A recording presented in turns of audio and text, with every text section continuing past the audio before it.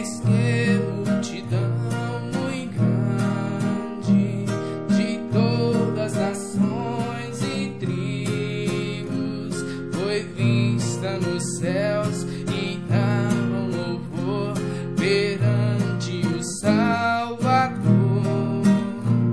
Trachavam vestidos brancos lavados por Jesus.